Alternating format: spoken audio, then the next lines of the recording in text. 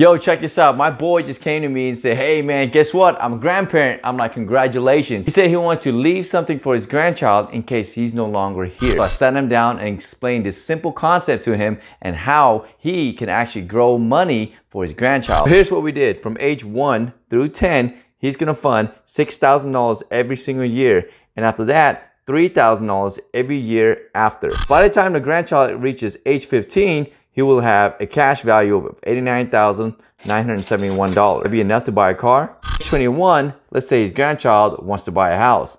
You think $141,000 would be enough to buy a house? Age 27, let's say he wants to get married. Do you think $214,000 would be enough for him to get married?